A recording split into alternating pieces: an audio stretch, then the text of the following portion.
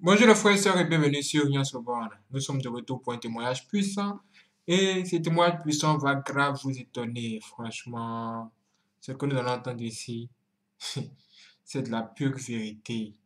Mais il y, aura, y aura sans doute encore des gens qui vont douter, qui vont se dire non, Union Sorbonne, c'est une histoire inventée et tout ça et tout ça et tout ça.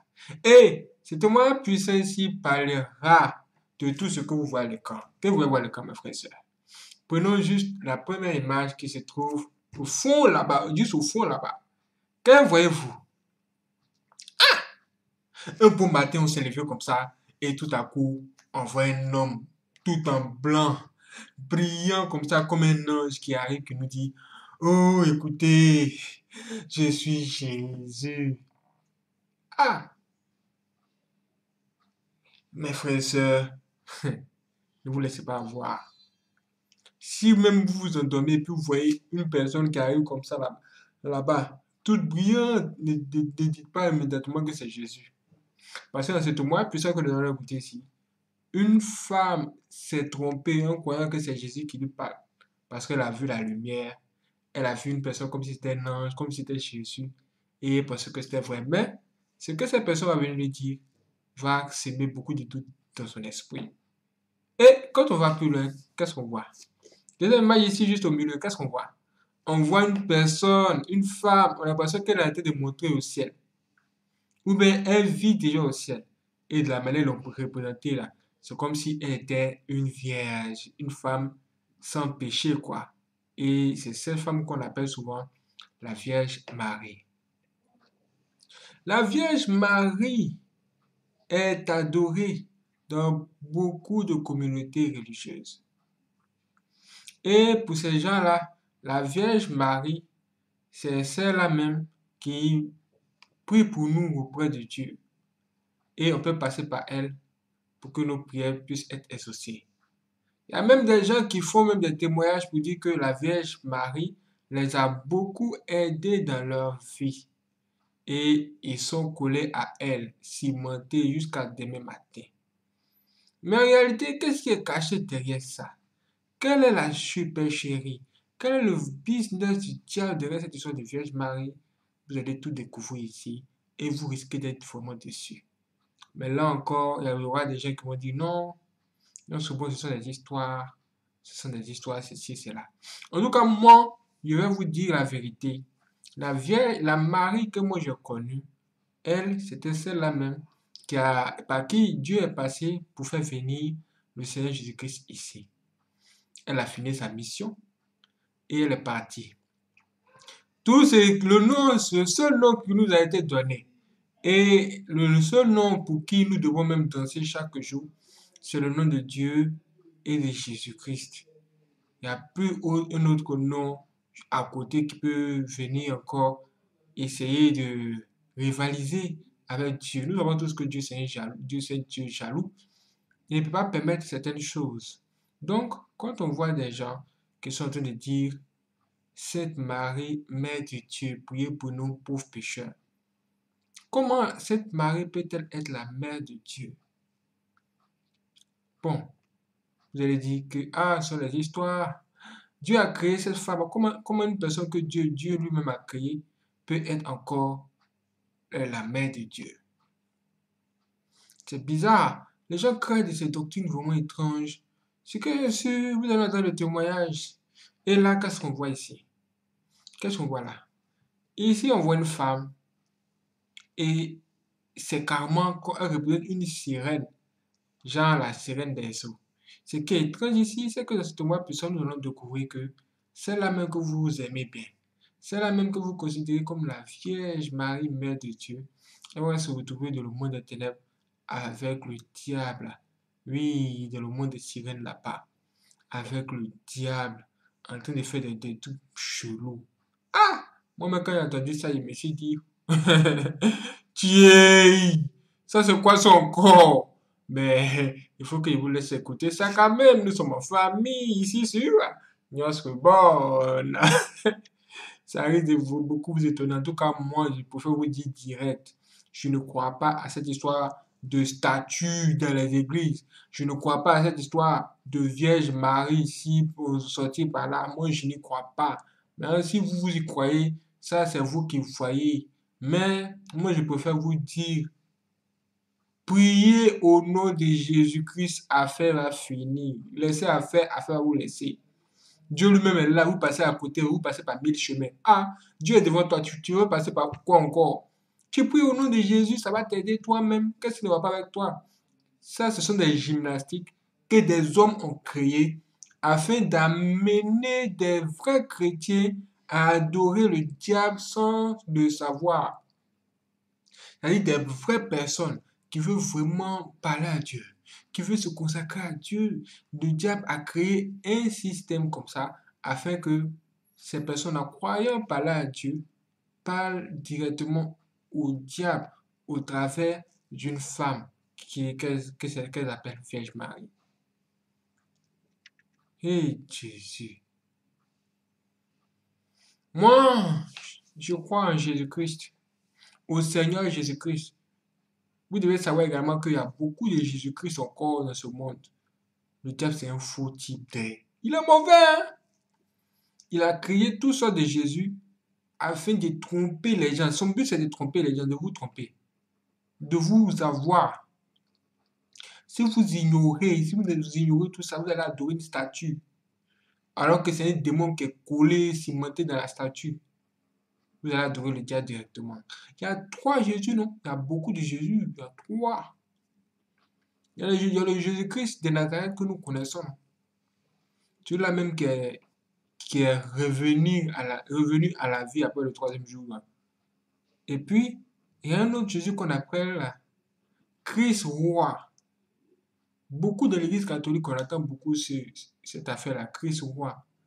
Apparemment, c'est un démon. Il y a un ex-sataniste qui n'a pas manqué de nous dire ouvertement ici que le Christ roi que vous appelez tout le temps chez vous là, en fait, c'est un démon.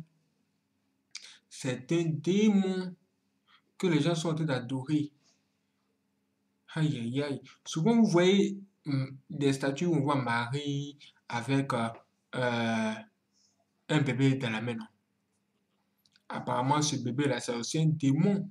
Et lui, c'est un esprit de destruction. Et souvent, vous voyez les statues de Marie qui coulaient les larmes. Ah, en tout cas, cette année, ça dit que quand vous voyez ça, c'est que le pays où ces statues-là a coulé les larmes, là, le sang a versé. Waouh! Et ça, c'était le deuxième Jésus, Christ roi. Maintenant, le troisième Jésus que les gens aiment beaucoup adorer dans l'industrie de la musique, il s'appelle Jésus de Londres. Vous allez voir les, les, stars de la musique. Elles vont chanter jusqu'à un moment donné. Elles vont dire Oh Jésus de Londres, oh Jésus de Londres. Elles vont chanter pour le nom de Jésus de Londres. Oh, en réalité, c'est un démon. Et tous les fans aussi qui ne savent même pas les et tout ça, et aussi vont se mettre à chanter Oh Jésus de Londres. À un moment donné de la musique. Waouh! Vous voyez comment les gens sont trompés. Vous allez aller dans, dans, ces gens d'église-là, vous allez voir plein de statues, ça ne vous dit rien. Alors que Dieu a demandé à ce qu'on se possède jamais devant une statue. Moi, avait une femme de mes yeux, parce que moi, j'ai été dans une école catholique. C'est-à-dire, j'avais une école, on enseignait très bien, mais cette école était, a été créée par des gens, c'est-à-dire c'était pour une église catholique. Du coup, du, du, coup, chaque mercredi, nous, on se retrouvait tout le temps à l'église. C'est-à-dire, on quitte l'école, on va directement à l'église catholique pour prier. Et moi, je suis arrivé là-bas, à l'entrée de l'église, déjà, vous devez vous laver la main. Ça, c'est quoi? C'est comme si vous vous trouvez dans, dans, un autre monde. C'est comme si vous voulez rentrer dans, entrer dans la maison du diable. Moi, c'est ce que j'ai vu, c'est ce à quoi ça sert, à quoi ça laisse. Moi, c'est mon avis. Hein. Vous allez voir propre avis, mais moi, c'est ce que je pense, ce que j'ai vu là. C'est ce que je vous dis. Avant d'entrer dans l'église, il faut, se laver la main. Oui, ça m'a étonné. Je ne me souviens même pas même si je me suis lavé la main là-bas et tu rentres dans l'église, tu vois de l'encens et puis j'entends des bruits, des cloches. Tout le monde entre. À un moment donné, on allume la bougie et tu vois le prêtre qui arrive maintenant. Voici le sang du Seigneur avec une coupe. Et lui va boire il va donner une bise à l'hôtel, il va faire des choses. Et quand tu tournes ta tête, tu regardes à gauche, tu regardes à droite, tu vois que de grosses statues seulement qui sont là-bas. Alors que les autres religions disent que non, il ne faut pas faire des statues, tout ça. En ce moment, j'étais dans la confusion parce que moi, j'étais vrai, je n'allais pas à l'église, mais à faire des statues, là, honnêtement, moi, je ne croyais pas. J'avais vraiment, je n'aimais pas ça du tout. Je n'aimais pas ça. Tout ça m'a étonné. Il y a tas de choses comme ça dans les églises. Et moi, j'ai vu une femme. Après ça, j'ai vu une femme. Nous, de, de, de cette église-là. Une femme, elle est venue positionner, elle est venue se prosterner devant une statue géante de Marie. Et ils ont fait une statue géante de Marie là-bas. C'est-à-dire une statue géante. Cette statue-là fait peut-être 20 mètres de haut. Peut-être plus même. Jésus. J'ai dit, mais, hein? Un moment donné, de ces gens de culte-là, vous n'entendez même plus le nom de Jésus. Parce que les gens ne veulent pas vous dire que c'est le diable qu'ils sont adorer. Ils veulent juste passer par le, par, le nom d'une autre personne. C'est-à-dire, ils, ils ont créé la, des, un mensonge. Il y a un gars qui dit, il y a un gars qui appelle ça la mama. Ils ont créé un mensonge. Un vrai mensonge pour amener les gens à adorer le diable sans le savoir. Et vous allez voir que dans ces gens d'église, il y aura beaucoup de personnes Beaucoup de personnes seront là-bas. Les gens que vous voyez en masse là-bas, là, que vous voyez comme ça, là, ce ne sont pas toutes ces personnes-là qui sont de bonnes personnes. Hein. Il y a plein de sorciers qui, qui vont se réfugier dans cette église-là. Oui, eux ici, ils doivent dire aux gens qu'eux, ils vont à l'église.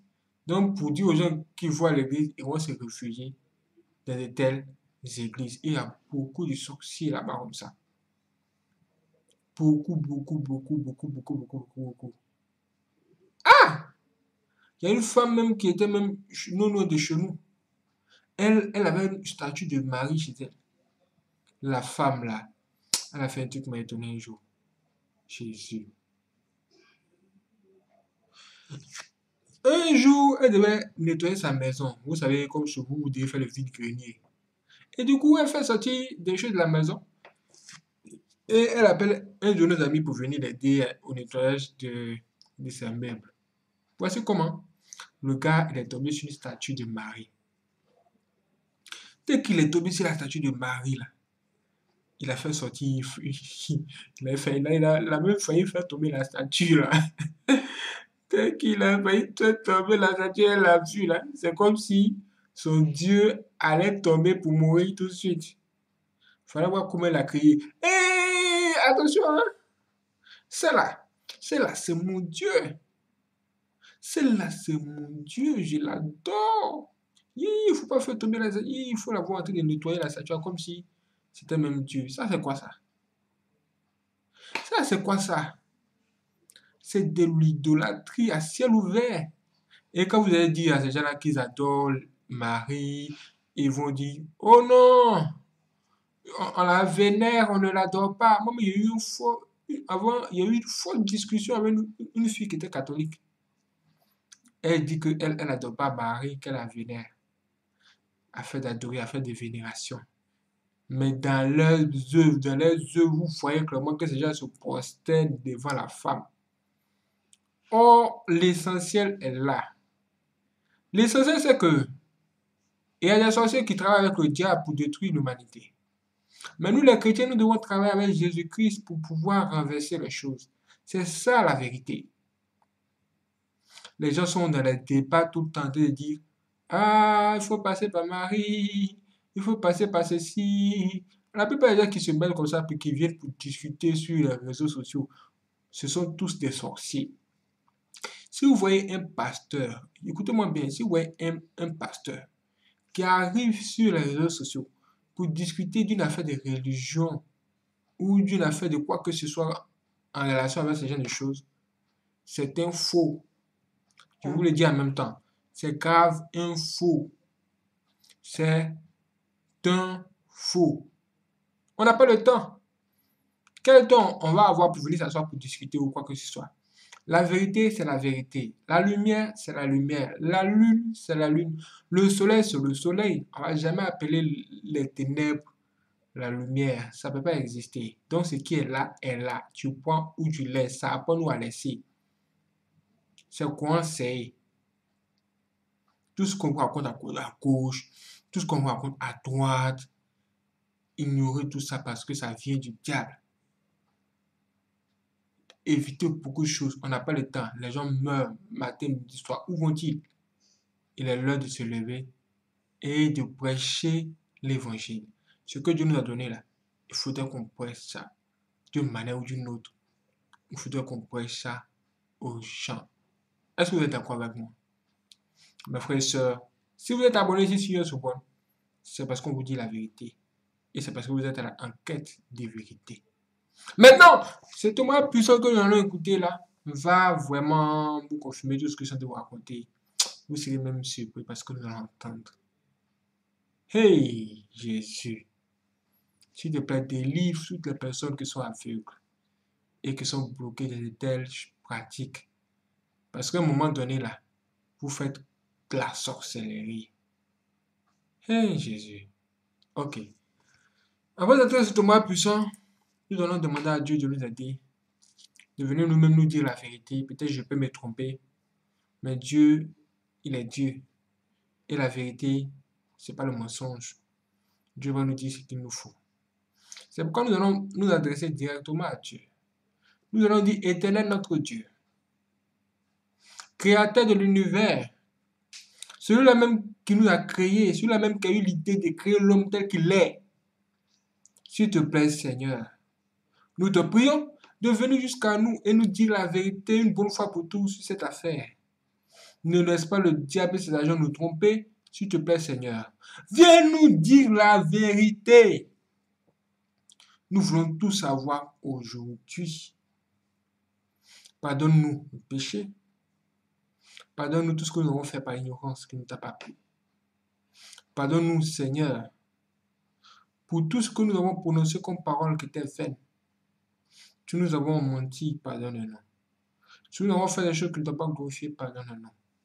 Pardonne nos enfants. Que la malédiction ne s'abatte pas sur nous, ni sur nos enfants, à cause de nos péchés ou les péchés de nos parents. Aie pitié de nous aujourd'hui, Seigneur, aie pitié de nous. Que ta lumière descende la vie de chaque personne qui écoute cette vidéo, touche le cœur, faut convaincre les gens de tout ce que nous sommes en train de dire. Nous devons nous débarrasser de toutes nos statues, des statues qui se trouvent dans nos maisons, dans nos salons, dans notre cour, autour de notre maison. Délivre ton peuple toi-même aujourd'hui, Seigneur. Délivre ton peuple. Délivre ton peuple, toi-même Jésus, délivre ton peuple. Toi seul peux le faire, viens nous aider à sortir de cela. Toutefois, nous avons fait, toutefois, où nous avons fait des cultes ou des adorations à l'honneur des démons ou des personnes décédées de nos familles, nous te demandons pardon, Seigneur, pour cela. Nous te demandons sérieusement pardon pour cela. Oh Seigneur, Pardonne-nous de nous d'avoir cru au purgatoire et à toutes ces choses inventées par les gens dans l'Église. Aie pitié de nous, Seigneur. Pardonne-nous d'avoir adoré des saints, des soi-disant saints, surtout dans les églises. Pardonne-nous. Pardonne-nous d'avoir adoré des anges, des soi-disant saints Michael que nous avons adoré passer par là. Aie pitié de nous, Seigneur. On ne savait pas que c'était des démons cachés derrière cela. C'était un vrai mensonge et une doctrine inventée par les démons et ses agents ici pour nous tromper. Aujourd'hui, nous voulons savoir la vérité.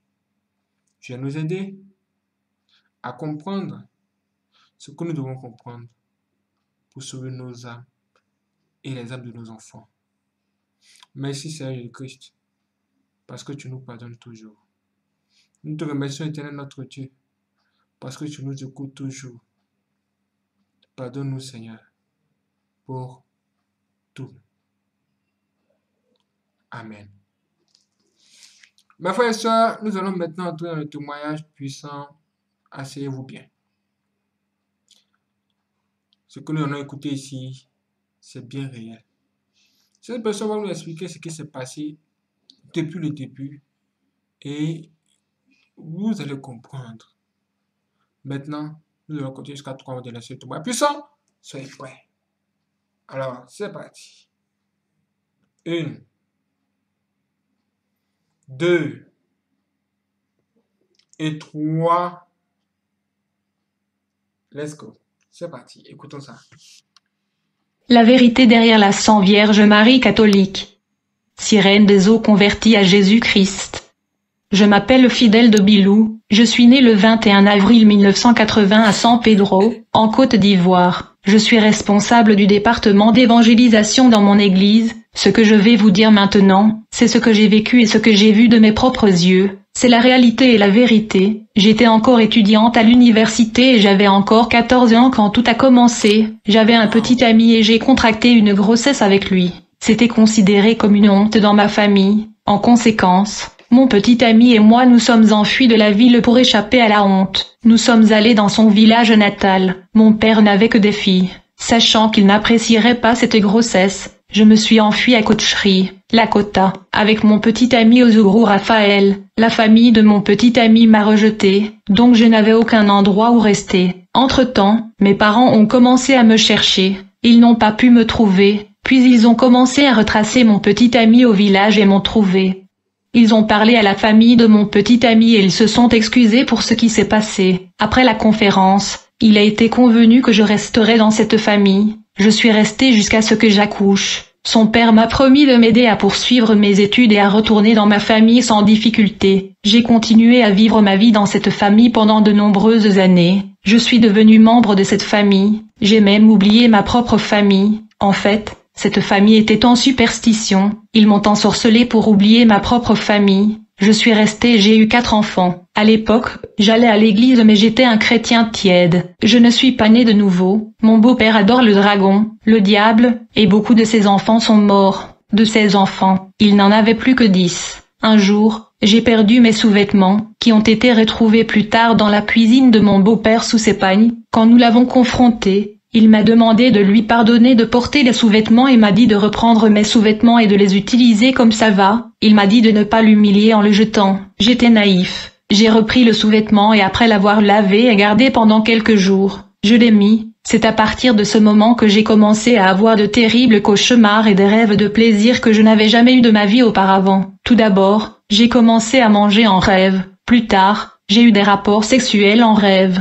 Je n'ai pas pris ces rêves au sérieux. J'ai continué à vivre ma vie et ces rêves de rapports sexuels sont devenus normaux pour moi. Quelque temps plus tard, mon beau-père a commencé à perdre des enfants. Il a eu quatre femmes et seize enfants, en peu de temps. Il a perdu deux enfants en deux mois. Il est allé trouver un prophète qui a demandé à la famille d'acheter des bougies. Le prophète a donné à toute la famille des instructions concernant les rituels de prière que la famille était censée observer afin d'éviter la mort dans la famille. Je n'étais pas intéressé par toutes ces pratiques et rituels. J'ai remarqué que chaque jour, il faisait des prières rituelles instruites par le soi-disant prophète, mais il fréquentait l'église catholique tous les dimanches. Mais ils étaient dérangés parce que je n'assistais pas à leurs prières quotidiennes. En fait, J'allais dans une église évangélique bien que je ne sois pas vraiment né de nouveau. J'allais simplement à l'église comme une routine, initiation à l'occultisme puis quelque chose de dramatique s'est produit. Une nuit, j'ai fait un rêve dans lequel un homme vêtu de blanc m'a dit que puisque je ne prie pas, c'est pourquoi j'ai tous ces rêves.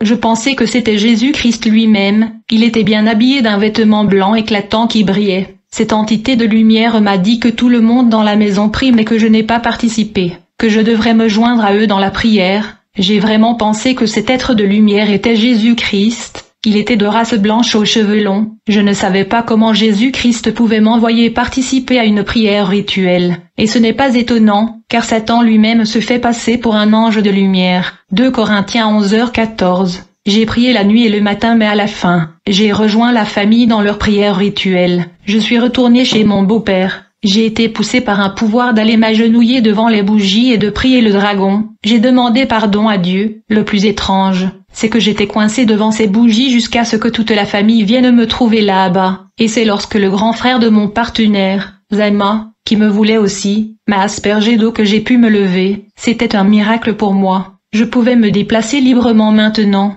J'ai été touché par ce miracle, pour m'encourager à prier avec eux, car selon eux c'est parce que je ne prie pas avec eux que je suis resté cloué devant les bougies. Il m'a donné un petit livre de prière. J'ai commencé à assister régulièrement à cette prière en famille. Ils utilisaient la Bible malgré le fait qu'il s'agissait d'une secte occultique. J'ai reçu un livre de prière à Marie la Sainte Vierge. Il y avait des prières comme « Je vous salue Marie, pleine de grâce », etc. Plus je lis ce livre, plus j'ai envie de le lire. Alors que je continuais à lire ce livre et à assister à la prière en famille, mes yeux spirituels se sont ouverts. Quand je marchais dans les rues, j'ai commencé à voir au-delà de la vision normale, je voyais des choses bizarres et étranges. On m'a dit que c'était un cadeau d'illumination, alors que je continuais cette série de prières, des choses très étranges continuaient à se dérouler. Petit à petit je me suis retrouvé sous la mer. Je ne sais pas comment je me suis retrouvé là-bas. J'en ai parlé à mon beau-frère mais il m'a un peu ignoré. Le royaume marin plus tard. Il m'a donné de l'eau à boire. Je pensais que ça allait l'arrêter mais ça a empiré les choses. Le jour même où il faisait nuit, j'ai été transporté mystérieusement sous l'océan. J'ai vu beaucoup de monde. J'ai vu des foules de mystiques et d'occultistes. Ils étaient bien habillés et avaient des réunions. Il y avait de grandes salles là où ces gens tiennent des conférences sur les églises vivantes afin de les déstabiliser. Lors de cette réunion, l'un des mystiques prononçait un discours. Comme j'étais nouveau dans ce monde occultique, la réunion ne me dérangeait pas. J'étais dans un nouveau monde et pour moi, j'apprenais en fait à évoluer dans cette nouvelle réalité.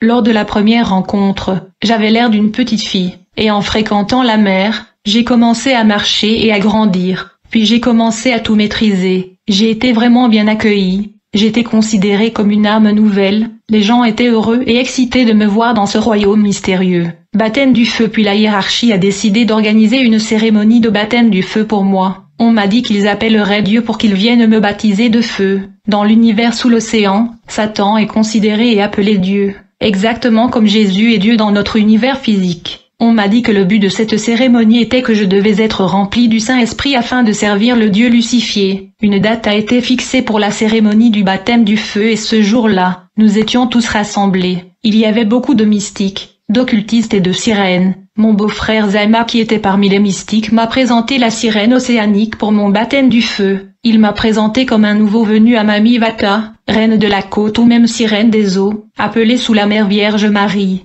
Dans cet univers sous l'océan, les gens l'appellent la Sainte Vierge Marie. C'est elle qui est adorée dans l'Église catholique en tant que Mère de Dieu. J'ai marché vers la Sainte Vierge Marie. Elle m'a dit, Vous êtes les bienvenus dans notre univers. J'ai répondu, Amen.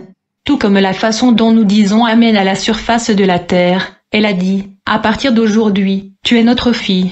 Vous ferez ce qu'on vous dit. Vous travaillerez pour le Dieu lucifié. Votre nom n'est plus fidèle. Vous avez un nouveau nom Anéa, qui signifie magie. En fait, lorsque la Sainte Vierge Marie s'est présentée à cette cérémonie, moi et tous les mystiques, y compris les sirènes, nous nous sommes agenouillés devant elle exactement de la même manière que les catholiques s'agenouillent devant ces statues à la surface de la terre. En réalité mes frères et sœurs en Christ, ils s'inclinent devant un démon sans le savoir. La sirène océanique est venue diriger la cérémonie de mon baptême du feu afin de me donner du pouvoir. Peu de temps après son arrivée, elle a conjuré le dieu Lucifé d'assister à ma cérémonie de baptême du feu afin de servir leur dieu Lucifé. Elle a appelé le grand maître, il a atterri et il était vraiment beau. Immédiatement, je me suis souvenu de la silhouette brillante de l'entité de lumière qui se manifestait dans notre maison. C'était lui exactement comme je l'ai vu dans notre maison dans cette vision. À l'époque, je ne savais pas que j'avais affaire à Lucifer lui-même parce qu'il apparaissait comme un ange de lumière. Il ressemble exactement au Jésus-Christ que nous voyons sur les images de l'Église catholique sur terre.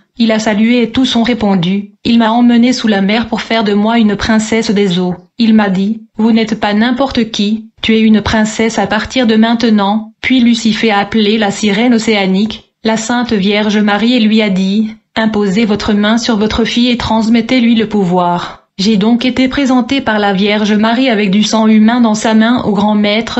Le grand maître a versé ce sang humain sur mon visage et il m'a dit qu'à partir de maintenant je suis loin pour séduire. À la fin de la cérémonie du baptême du feu, Lucifer a prononcé son discours. Il a dit aux participants, Vous allez sur terre, Vous irez d'une église à une autre et vous les détruirez. Les chrétiens représentent 20% de la population humaine. Vous allez tout faire pour transformer ces chrétiens en incroyants. Ceci est votre mission. Ils doivent être détruits en redoublant d'efforts. Le maître a ajouté. Celui qui réussira sa mission sera sur mon trône et assis à ma droite. Ils ont tous applaudi. Puis il m'a dit, tu es oint pour séduire. Puis il m'a laissé avec la Sainte Vierge Marie et a disparu. La Vierge Marie a mâché quelque chose qu'elle a versé dans ma bouche et elle m'a aussi donné du sang humain à boire. Depuis, elle m'appelle sa fille et je l'appelle mère, car la grâce de Dieu, source de salut pour tous les hommes, nous apprend à renoncer à l'impiété et aux convoitises mondaines.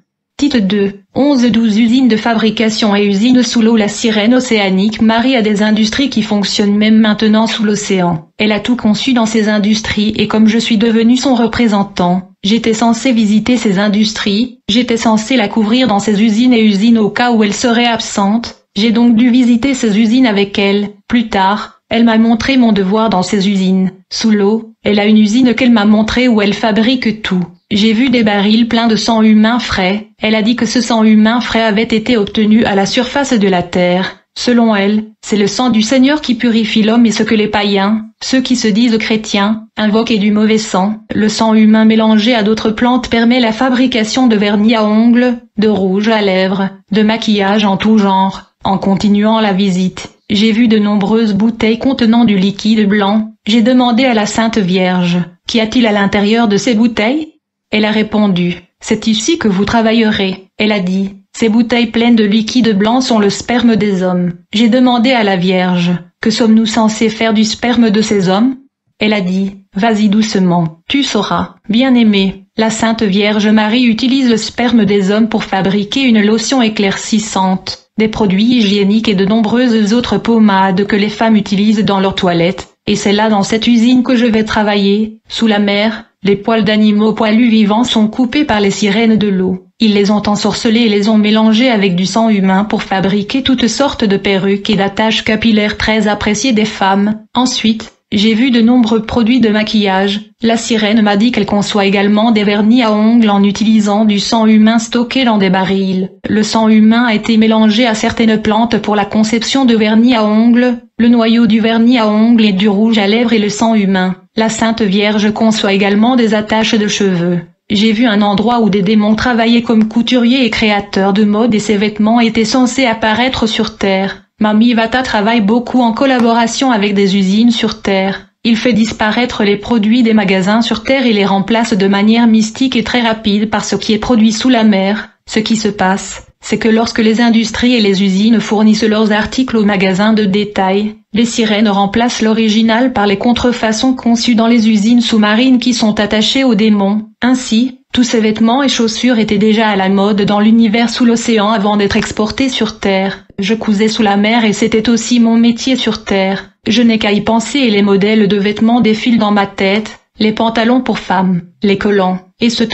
C'était ma mission. Et les gens me verront sûrement dans mon magasin de prêt-à-porter en pensant que je couds ces vêtements sur Terre alors qu'en réalité ils me sont livrés de la mer. Nous veillons à ce que les femmes paient les vêtements que nous vendons, non seulement en termes monétaires, mais aussi en termes spirituels et mystiques. Ces vêtements sont fabriqués à partir du même motif que nous avons créé à partir de la mer et de cette façon, ils sont marqués 666. La Vierge Marie a même des magasins partout dans le monde qui vendent ces articles. Tous les vêtements vendus sur le marché ne sont pas de fabrication terrestre.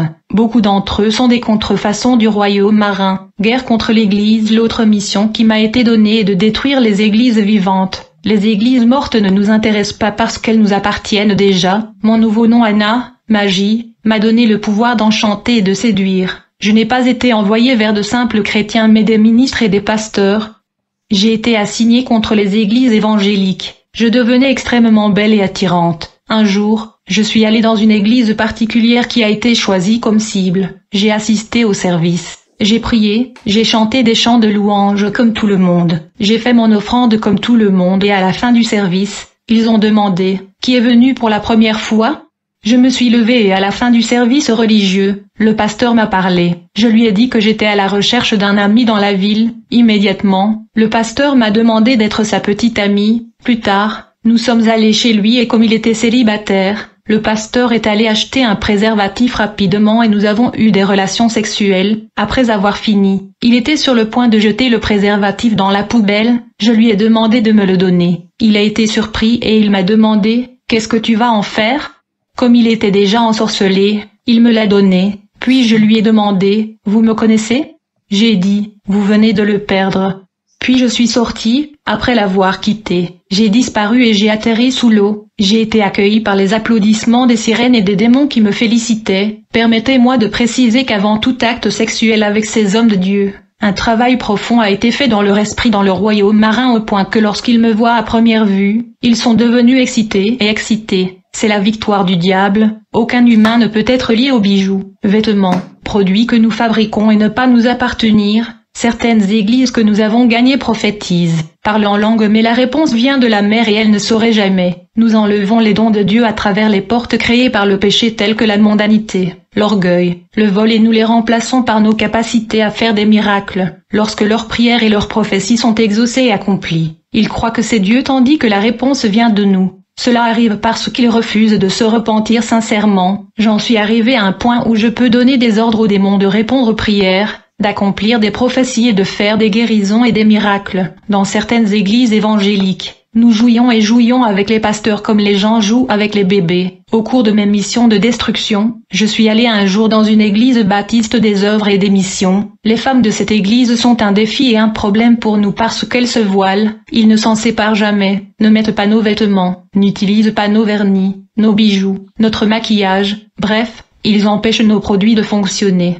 Nous faisons tout pour les affaiblir, les attaquer, endurcir leur cœur afin qu'ils refusent de porter le voile. J'ai donc été envoyé là-bas après l'échec d'un de mes collègues. J'ai passé un certain temps à jeûner. Je suis allé voir le pasteur et lui ai dit, je veux que vous priez pour moi. Il a dit, HMM, sitôt le matin? Il n'était pas convaincu de le faire. J'étais abasourdi. Plus tard, je suis revenu le voir au bureau. Il a prié et lu les Écritures pour moi. Puis il m'a demandé, êtes-vous célibataire? J'ai répondu, oui, je le suis, mais vous êtes un homme de Dieu. Je ne veux pas attirer la colère de Dieu sur moi. Il a dit, oubliez ça, rencontrons-nous dimanche après le service. J'étais heureux et excité ce jour-là. En fait, j'ai été le premier dans l'église parce que Lucifer m'a promis une couronne si je réussissais contre ce pasteur, car beaucoup ont échoué avant moi. Vous devez noter qu'avant le service du dimanche, il y avait beaucoup d'activités et d'envoûtements dirigés contre ce pasteur dans le royaume marin et j'étais généralement rendu extrêmement beau aux yeux de ces pasteurs. Dimanche, je suis venu si tôt le matin. J'étais excité, je ne pouvais pas attendre. Puis le pasteur est arrivé dans l'église qui était déjà pleine. Il a commencé à prêcher mais cela ne me dérangeait pas ou ne me souciait pas de sa prédication. Mais pendant que je murmurais, quelque chose de dramatique s'est produit. J'avais l'impression qu'un homme touchait mon épaule derrière moi. Bien aimé, quand je me suis retourné pour vérifier qui m'avait touché, j'ai vu Jésus de Nazareth sur la croix. Son sang coulait et j'ai entendu une voix puissante me dire, Regarde comment tu me crucifies à nouveau sur la croix. C'était la première fois pour moi d'entendre une voix aussi puissante et de voir de telles scènes de Jésus-Christ lui-même avec du sang. J'ai crié très fort dans l'église et je suis tombé par terre. J'ai été emmené au bureau de la prière. Quand je me suis réveillé, les intercesseurs m'ont demandé, Sœur, qu'est-ce qui ne va pas? J'ai répondu, j'ai vu Jésus. Ils ont demandé à nouveau, y a-t-il un problème? J'ai répondu, j'ai vu Jésus. Ils ont dit, ok, laissez-nous vous recommander à Jésus-Christ. J'ai dit, non, je ne suis pas intéressé. Puis je suis sorti de l'église avec colère. J'ai continué à entendre le mot Jésus dans mes oreilles. Puis je suis retourné dans le royaume marin. J'étais fâché. Quand la sirène océanique m'a vu, elle a dit, Bienvenue, ma fille. J'ai répondu avec colère. Arrêtez tout de suite. Je ne suis pas ta fille. Puis je lui ai demandé, Qui êtes-vous? Êtes-vous vraiment la Sainte Vierge Marie, la mère du Christ?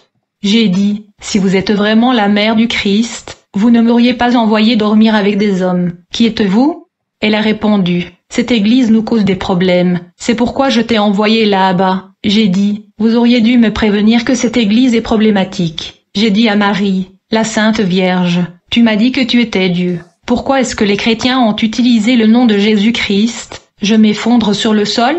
Bien aimé, quand j'ai cité le nom de Jésus-Christ, la sirène océanique, la Sainte Vierge s'est effondrée sur le sol. Après s'être levée à nouveau, elle a dit, Ma fille, tu ne cites pas ce nom ici. J'ai répondu, vous m'avez dit que vous êtes tout puissant et que vous avez tout le pouvoir, pourquoi est-ce que le nom de leur Dieu me cause de la douleur? La prochaine fois, votre Dieu Lucifer devra intervenir. La Sainte Vierge a appelé Lucifer qui a atterri en un clin d'œil, il était habillé comme Jésus-Christ, Bien-aimé, laissez-moi vous dire que les images de Jésus-Christ que vous voyez sur terre dans l'église catholique sont Lucifer lui-même et non Jésus-Christ tel que j'ai vu le vrai Jésus face à face. Quand Lucifer a atterri, il a dit, ma fille, ça va? J'ai dit, je ne suis pas votre fille. Lucifer a dit, je vous ai dit que je suis Dieu. Pourquoi es-tu stressé?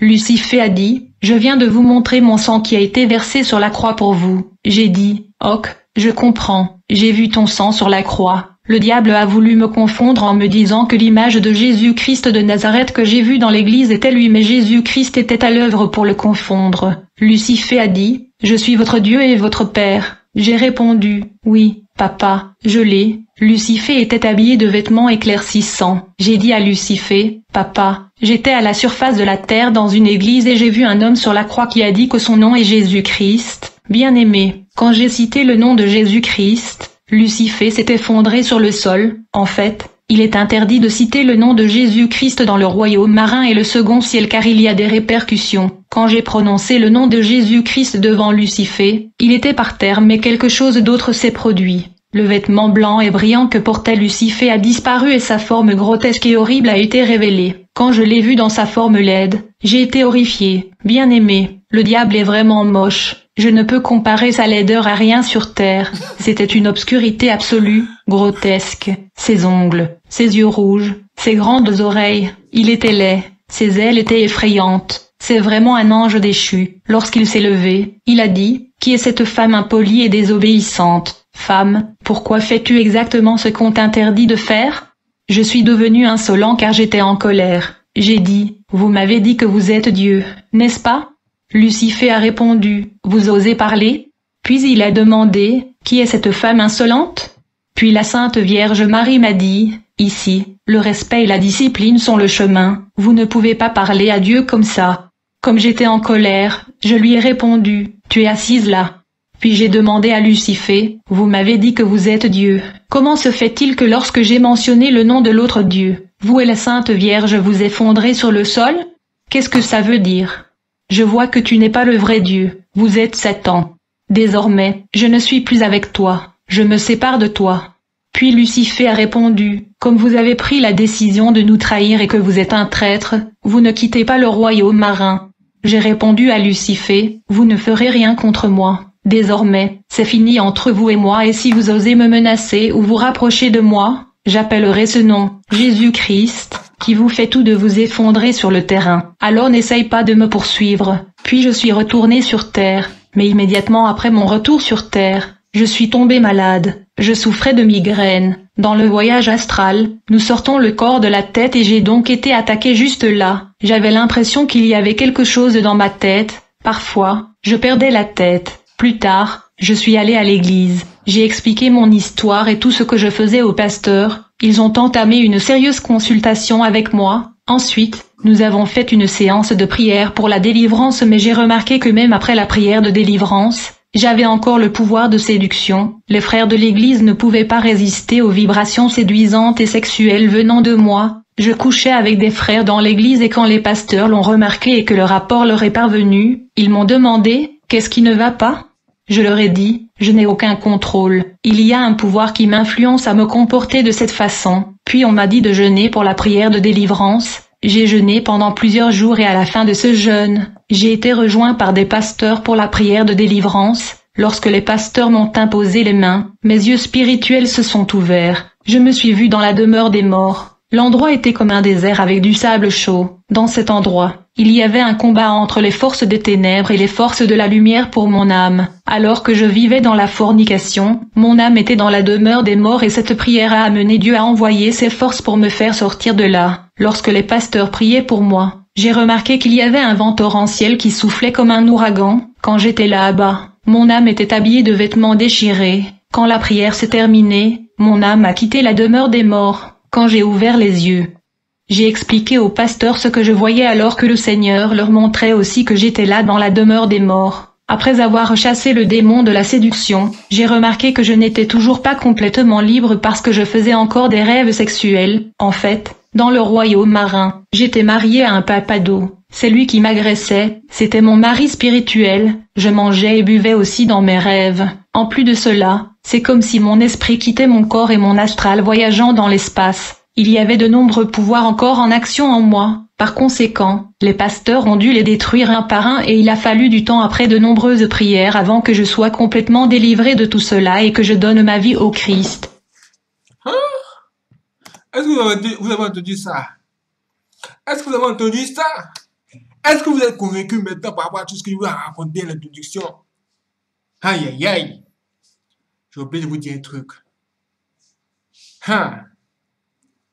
N'autorisez personne à coucher avec vous sans être marié. N'autorisez aucune femme à vous séduire sans l'autorisation de Dieu. Ah, ah, ah, ah, ah, ah, ah. Il y a trop de problèmes dans ce monde, il y a trop de problèmes. Tu es tranquillement, tu t'endors. Et tu vois une femme qui apparaît comme ça dans ton sommeil. Jolie, elle est jolie. Mais d'où viens-tu? Elle ne te répond pas, mais elle s'approche de toi au fur à mesure. Elle ne te répond pas, hein, mais elle se met à s'approcher de toi. Elle s'approche de toi. Mes frères et sœurs, ça m'est arrivé un jour. La fille, elle est jolie, elle, s'approche de moi. Je lui dis, mais qui es-tu? Elle ne répond pas. Qui es-tu? Qui ne répond pas Ah, Seigneur Jésus, viens m'aider, c'est qui celle-là? Aïe, aïe, aïe. Et elle avait pris la forme et le visage d'une fille que j'aimais physiquement sur la terre. Je dis, mais what? Ça, c'est le diable. Ça, c'est le diable. Si le diable sait que vous avez une fille dans le quartier, il va prendre son visage pour venir vous visiter la nuit.